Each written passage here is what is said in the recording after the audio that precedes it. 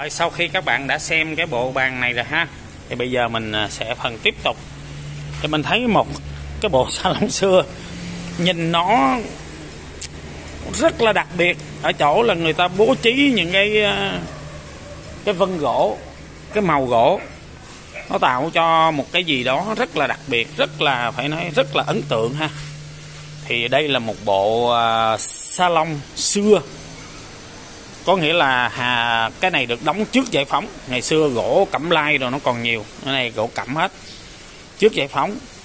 Thì à, bộ này thì mình hỏi ông chủ thì à, mình được biết là ông chủ bán ra với giá 50 triệu.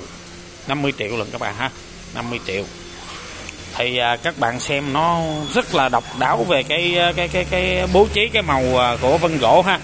Ví dụ như mình thấy nó sọc sọc sọc sọc sọc sọc nè. Thì à, ở đây để mình xem gỗ đặc hay gỗ lỏng.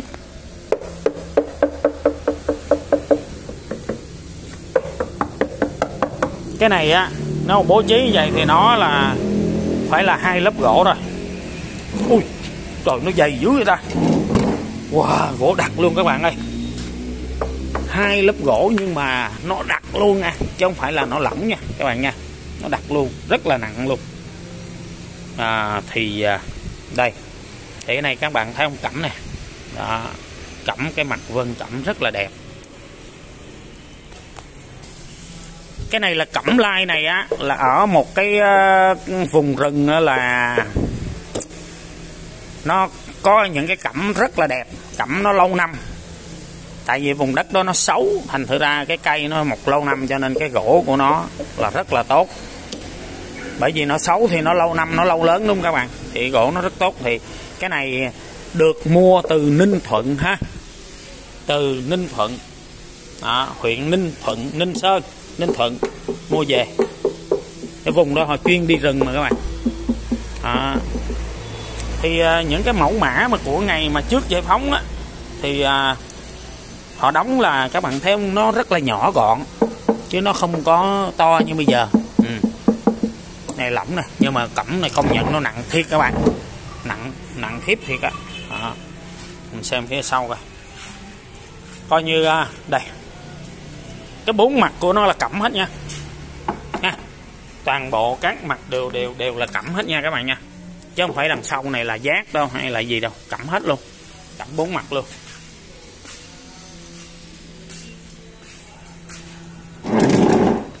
Đó, các bạn thấy không? Nè, cẩm bốn mặt luôn.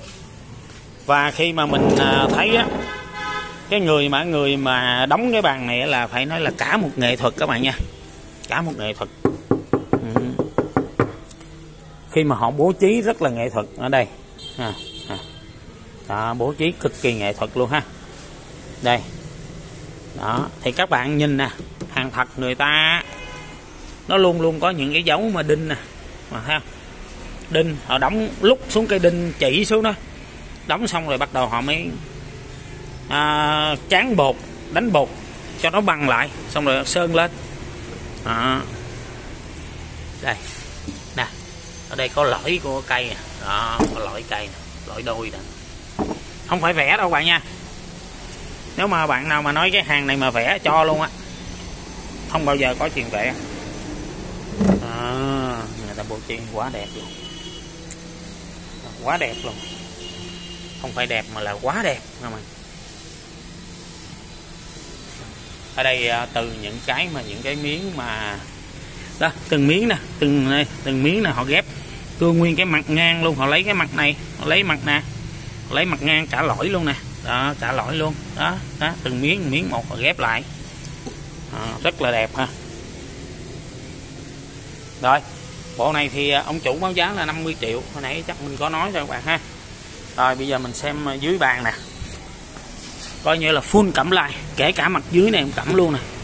Đó cũng được đó là đây cũng cẩm luôn chân cũng chân cẩm hết luôn. Đó, chân toàn bộ cẩm hết.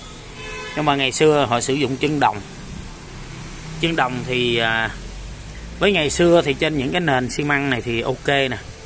Nhưng mà ở trên à, những cái nền mà nền gạch men bây giờ thì nếu chân đồng này thì chúng ta phải à, bố trí thêm một cái ống nhựa ha ống cao su nhựa gì đó để cho nó khỏi bị trầy cái gạch men của chúng ta ha.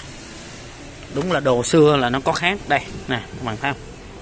Đó, đồ xưa khác. Này tất cả là full là bằng cẩm lai hết. Nè cái này nó dơ thôi. Đó, dơ thôi. Rồi 50 triệu.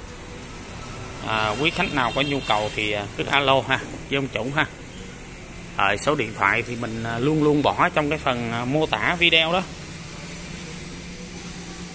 Nhìn vô nó giống như là cái gì các bạn? Nhìn vô giống như là một cái bộ bàn ghế nó bông ha. Quá đẹp quá độc luôn các bạn ơi. Thật sự mà nói luôn. Quá độc đáo luôn. Mình không biết à, cái ánh sáng nó có nó nó nó, nó chói hơi chụp hình hơi khó. À, các bạn thấy quá là đẹp quá độc luôn. Mình quá mê luôn. Nhưng là quan trọng là tiền. À, 50 triệu. 50 triệu. 50 triệu với cách đây vài năm về trước thì nó quá đơn giản. Bây giờ đất đai đồ này nọ nó hết sốt rồi. Lúc mà nó đất nó sốt ra dễ mình dễ kiếm tiền lắm. Mình làm kể cả làm youtube cũng kiếm được tiền nhiều.